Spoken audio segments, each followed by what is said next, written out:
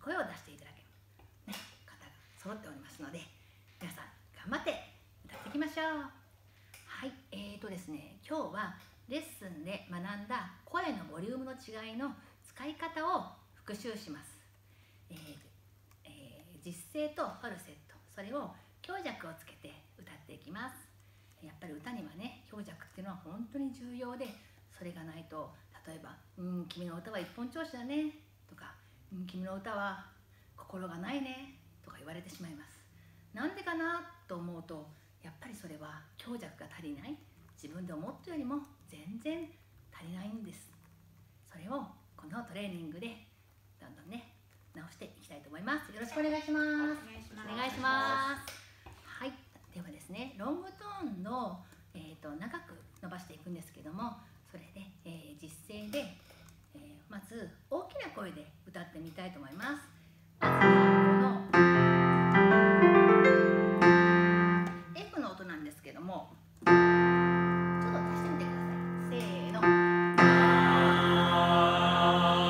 りがとうございます。えっ、とこの音をしっかり大きな声で出していきましょう。えっ、と4拍と3拍7拍全部で7拍で1拍休んでいきます。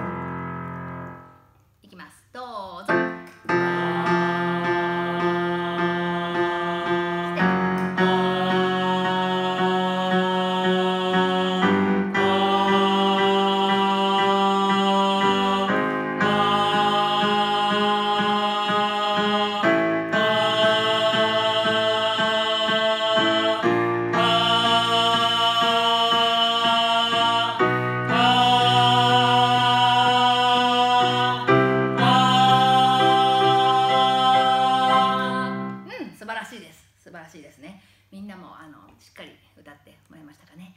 次は小さく歌います。ちょっと難しいんですけど頑張っていきましょう。どうぞ。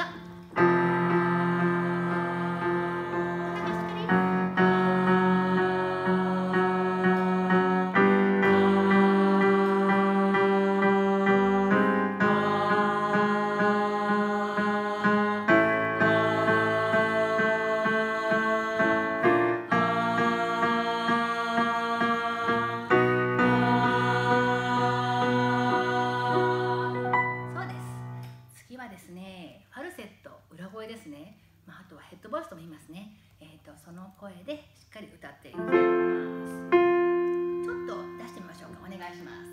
せーの。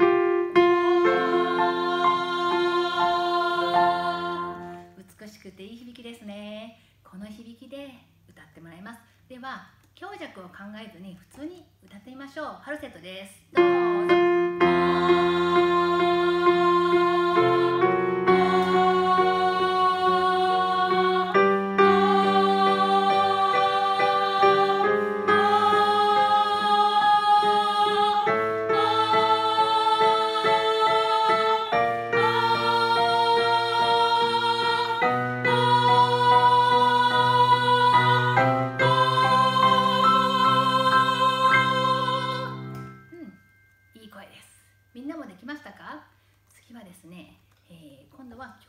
をつけながらやるんですけどもちょっと動きがある音階でいきたいと思います、えー、次は実声で。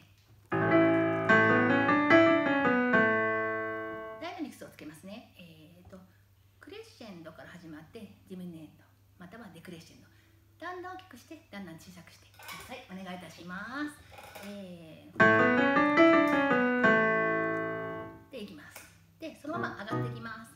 いきますよ。どうぞ。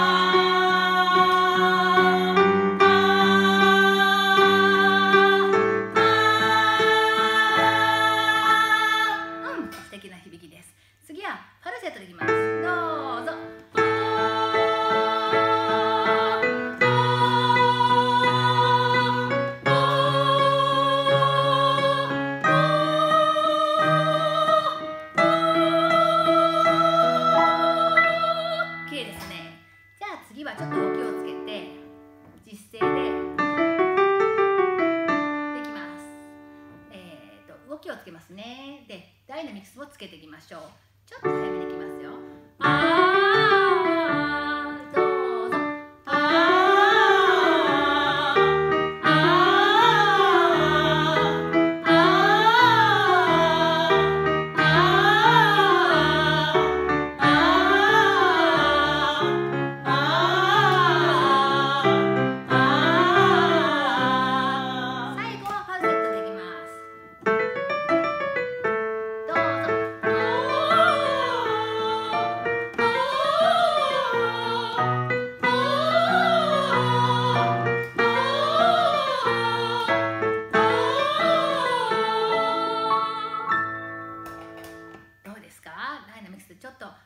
でしたけどもしっかりつけてできたかな。うん。